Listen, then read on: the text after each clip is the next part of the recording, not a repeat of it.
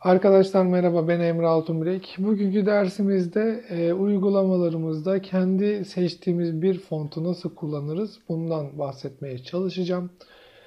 Daha önce de dediğimiz gibi Android'de tanımlı olan e, birkaç tane font var. Tabi bunların dışında da bir font kullanmak isteyebilirsiniz. Bunun için e, indirdiğiniz dosyanın yani yazı tipinin TTF ya da OTF formatında olması gerekiyor.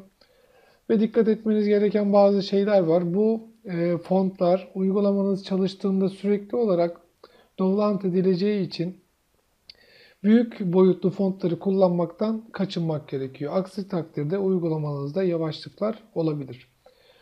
Uygulamada kullanacağınız bu custom yani kişisel fontlar e, kod içerisinden erişiliyor. Bunun için de biz typeface.create diye bir metodumuz var. Bunu kullanacağız. Eğer sizin yaptığınız bu uygulama e, uygulamada kullanacağınız bir font tanımlı değilse yani geçerli değilse veya erişilemiyorsa Android otomatik olarak kendinde tanımlı olan fontlarla bunu yer değiştirecektir. Ve e, biz Türkler olarak çok da önemsemediğimiz kullanacağınız fontun işte e, copyright'ına yani telif hakkına da dikkat etmeniz gerekiyor. Şimdi daha önceki örneğimizden devam edelim. Şurada bir text view'umuz vardı. Ben şuradaki radiusları sileyim şimdilik. Ve bu benim ekranımda nasıl gözüküyordu. Yani yapacağım kişisel fontu ben buradaki daha önce yarattığım text view'da kullanacağım. Ekrana gelirsem.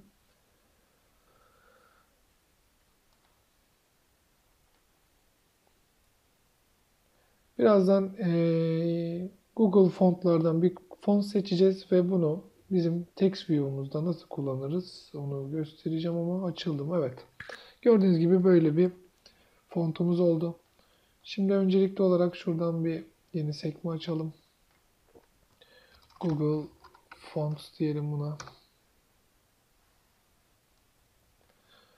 Evet fontlara girelim. Şimdi buradan şöyle değişik hani farkını çok rahat anlayabileceğimiz mesela şu Ubuntu'nun fontu çok güzel. Şöyle artıya bastık. Buraya eklendi. Gördüğünüz gibi burada isterseniz link olarak isterseniz de e, onu indirerek bu fontu kullanabiliyorsunuz. Şuradaki download'a bastım. Ve ben şuradaki gördüğünüz gibi uzantıları TTF şunu kullanacağım. Bunu aldım, kopyaladım, Masa üstüne yapıştırıyorum. Bu burada dursun. Şimdi gelelim Android stüdyomuza. Ne demiştik? Bunları biz kodla erişmemiz gerekiyordu. Şimdi burada text view'umuzu biz ne yapmak istiyoruz? Kişiselleştirmek, ona kendi fontumuzu eklemek istiyoruz ya. Bunu burada Java, Java nesnesine dönüştürmemiz gerekiyor. Yani layout'lu tanımladığımızda bu nedir? Bir XML öğesidir. Ama ben buna şimdi bir id değeri verirsem text view yani şu kişiselleştir diyelim. Kişiselleştir. Şimdi burada bu bir XML öğesi. Ben bunu Java kodumda XML'den Java objesine dönüştürmek istiyorum değil mi?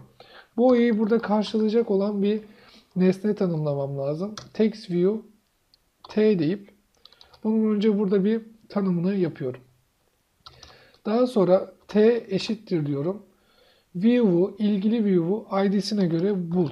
Find view by id. Buna da nasıl yapıyorduk?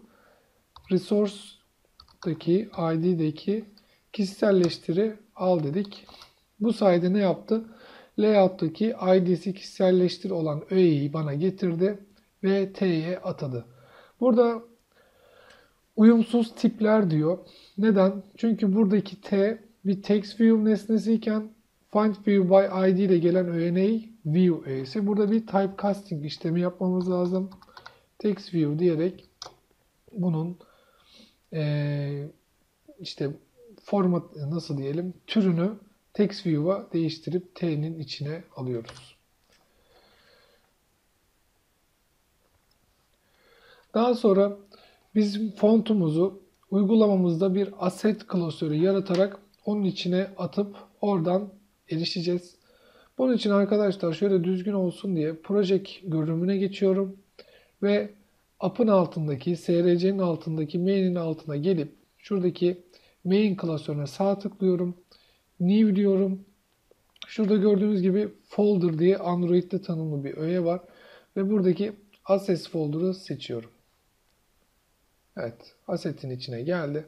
Daha sonra da benim şuradaki yazı fontumu alıyorum.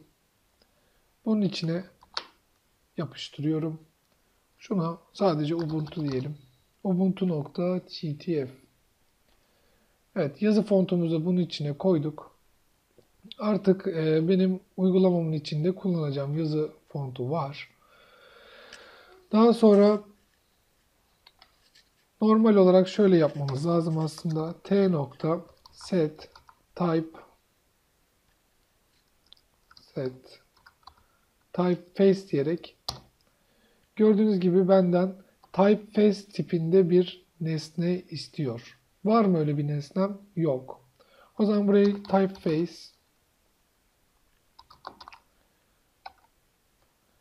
kişisel font diyelim. Bu sınıf import edilmedi. Alt da enter tuşuna basarak sınıfı import ediyorum. Eşittir dedikten sonra şimdi ben bu kişisel fontumu buna göstermem lazım.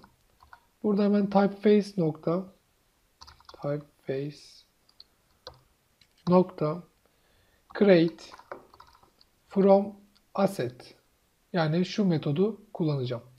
Bunun parametrelerine bakarsanız bir asset manager ve string pet diye iki tane parametre istiyor.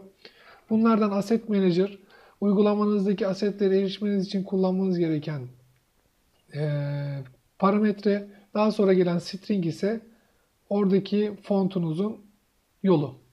Şimdi bunu tıkladım. Benden asset manager tipinde bir şey istiyor değil mi?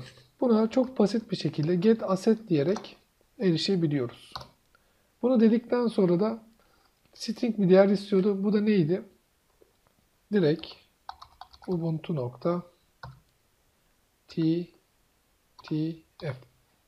evet.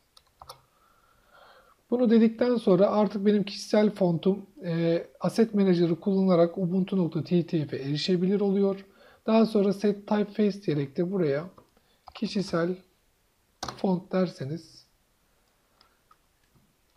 işlemleri eğer bakalım bir hatamız var mı? Nerede? Bakalım yazı tipimizi tanıyacak mı?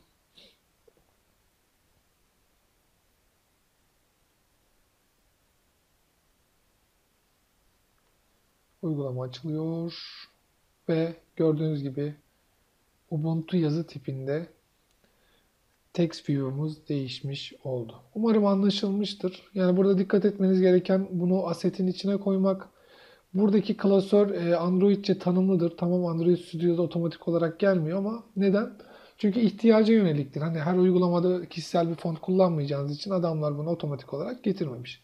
Kullanacağınız zaman bunu buraya sağ tık new folder diyerek tanımlıyorsunuz.